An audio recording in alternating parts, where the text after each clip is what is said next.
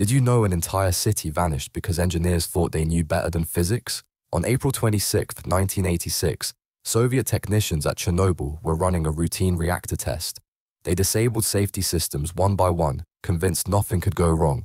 At 1.23 a.m., Reactor 4 exploded with the force of 400 Hiroshima bombs.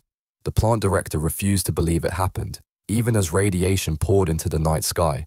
In nearby Pripyat, families slept peacefully, completely unaware. For 36 hours, children played outside while invisible death filled their lungs. Wedding parties danced as radioactive particles settled on their skin. When firefighters arrived, their skin began peeling off within hours.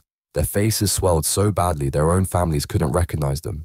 They died screaming in hospital beds, their bodies destroyed from the inside. The government finally evacuated the city, telling residents they'd return in three days. They knew it was a lie. The city would be toxic for centuries. Pripyat became a ghost town overnight, abandoned forever.